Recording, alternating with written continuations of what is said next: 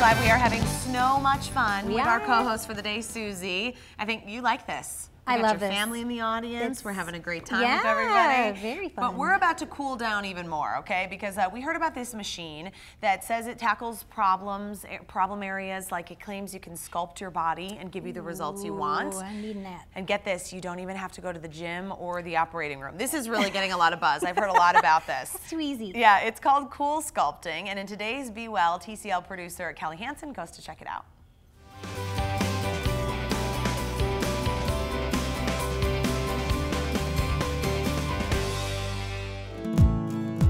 The before and after pictures say it all. Those annoying muffin tops, gone. That extra volume in the tummy, goodbye. Basically what we're doing is we're freezing fat cells. They are actually crystallized and destroyed and then they are naturally eliminated through your lymphatic system.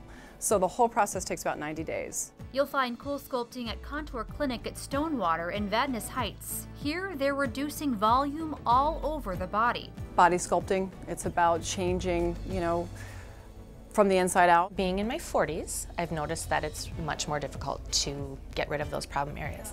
Mary Rosen says she thought a tummy tuck was her only option to get rid of that stubborn fat until she discovered cool sculpting. I saw results probably within about two weeks, and I'm continuing to see further results, being six weeks out and anxious to do my next treatment. She's back, this time to work on her arms. And we're gonna push your arm into it.